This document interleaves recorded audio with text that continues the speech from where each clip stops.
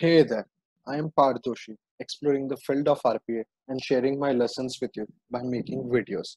So here I am with an another use case using document understanding. Let me give you a quick overview of what we'll be seeing in this tutorial. So in this tutorial, we are going to create a complete, you can say use case or a complete application which can be used as a business process for processing documents. So in this video, we are going to build a workflow. Means i have already built the workflow but we are going to see how we can do that. So we are going to build a workflow which will download the invoice when it comes to your mail. After downloading the invoice it will save in a particular folder. And after it is saved in a particular folder it will process the document and extract the data and write it into an excel file. So without any further delay let's get started. Now the first thing you need to do is configure your mail. So here I am using IMAP mail messages.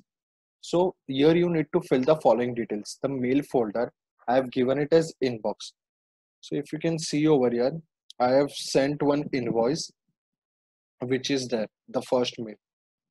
Then there is a port number for IMAP, it is 993 and the server is imap.gmail.com. Now I have created two variables, email and password where I have typed my email and password. Now, what I'm doing is I'm only reading the unread messages. So whenever new mail comes, it will read it, it will process the document and it will then mark it as read. So if you want to mark it as read, you will need to select mark as read.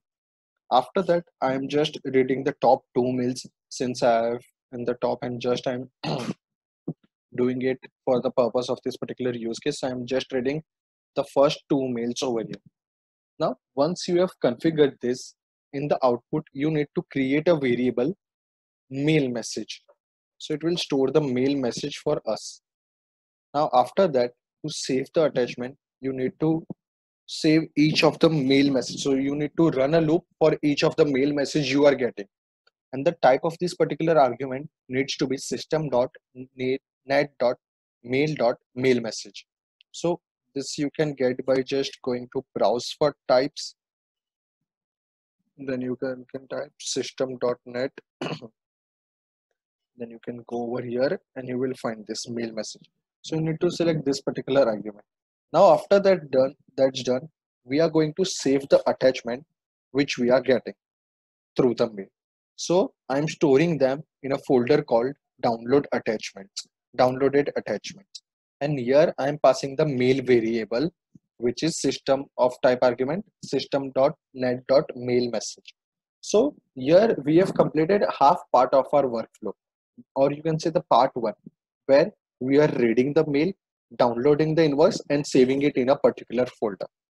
Now after we have done that we need to create create an array object of string which will help us get the files from the downloaded attachments folder so to get each the file, you need to type directory.get files environment.current string and our current directory is going to be this. Download attachments downloaded attachments.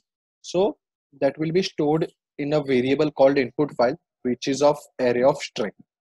Now after you have done that we'll process each of the files in that folder. Now since we are if there are many unread mails you might have three or four attachments or something so they all might be downloaded in that that particular folder which we have selected. Now the type of for each should be object. After that we are going to just follow the simple document understanding generic workflow step which is loading the taxonomy digitizing the document. Then we are doing data extra uh, data extraction scope yeah.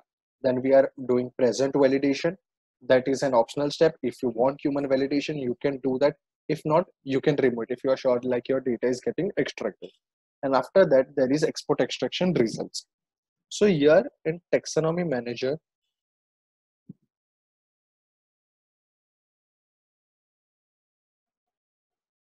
so i will show, show you the taxonomy manager where i've created the taxonomy to extract the values.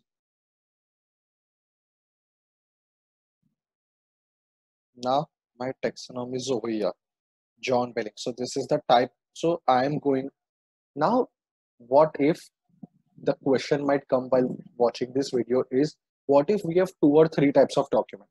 Then you can just define the taxonomy over here and i will in the description add a link wherein i have tried to extract data from two or three different types.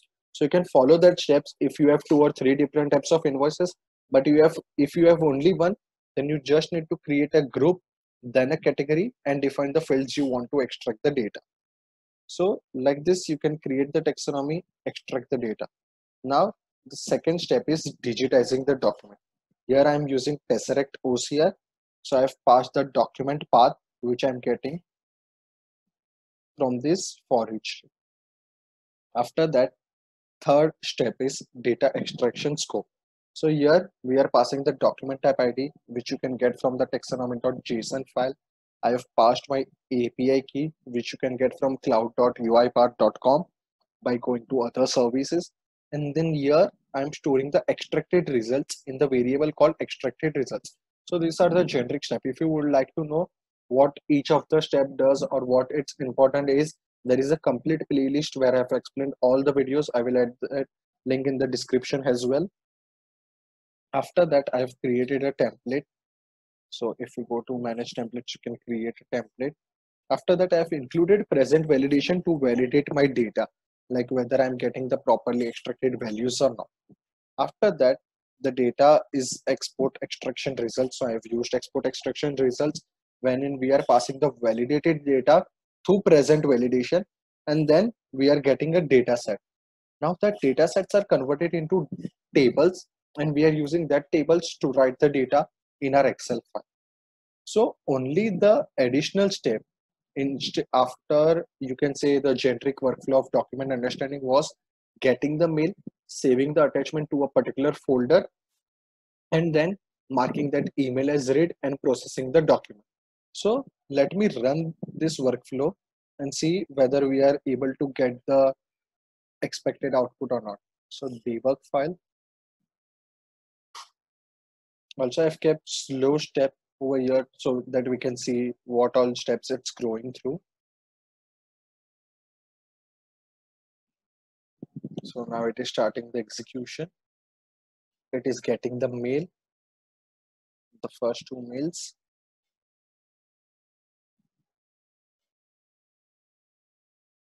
Now it is saving the attachments in the download attachments folder after that assign file. So now it will it has taken the file digitizing now data extraction. Also ocr can be changed depending upon your application. If your invoices are able to or documents are able are processed using tesseract you can keep that.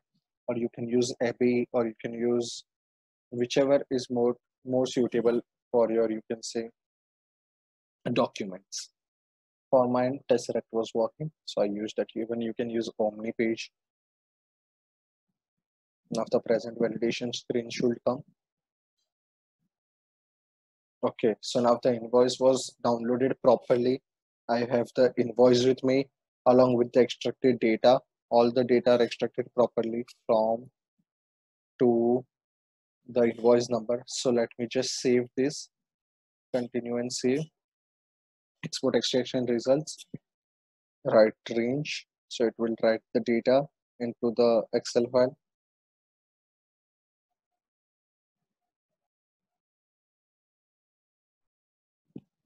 Okay now the process is ended. Let's check my gmail.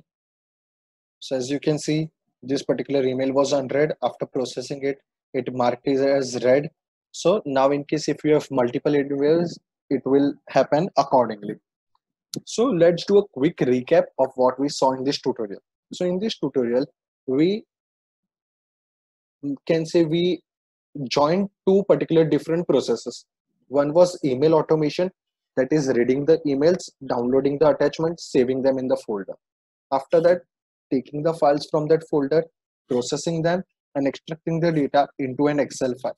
So now here there are three parts, Excel automation, document understanding, and then Excel part where we are writing the data. So thank you for watching the complete video. Do check out the description links of other videos if you would like to know more in detail or find out different use cases. related to document understanding i have approximately 10 to 12 videos on that and also if you want to understand completely what is document understanding i've made very short videos and try to explain very precisely like what is document understanding and each of the steps in detail please do subscribe to my channel if you haven't done yet and press the bell icon to stay updated with all the new use cases i come up with. Thank you